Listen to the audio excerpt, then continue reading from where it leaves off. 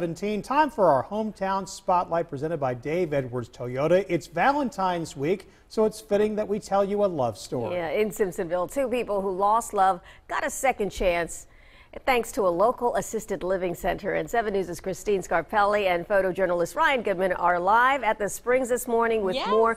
You're introducing us to some great people, Christine.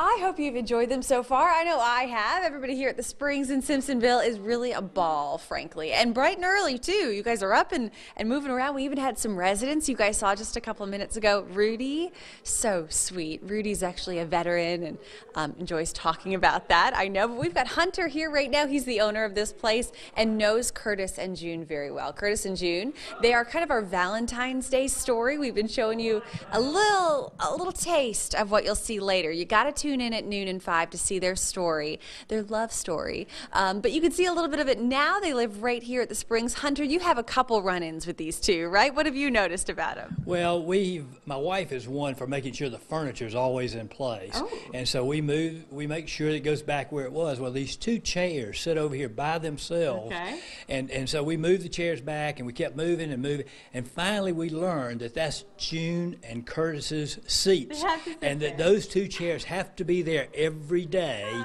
or else we have big problems. So we've Oh. learned to keep the chairs where they are. Understood. Very good. You, your father, and another partner here in the community were really instrumental in putting this here.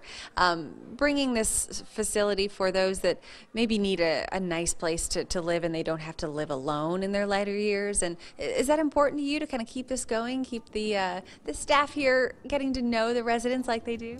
Well, that's the key to the whole thing. Is it is their home. We want it to be their home, uh, the next best thing to their home. And uh, my father had the vision, saw that that he was going to need it, and he wanted other people to have the opportunity. We didn't have one in Simpsonville at the time, and so this became a way for him to take care of himself and take care of the community at the same time. Awesome. And now some of the great residents can find companionship here. So we oh, appreciate that too. Plenty more coming up, guys. I know you saw just a little taste there.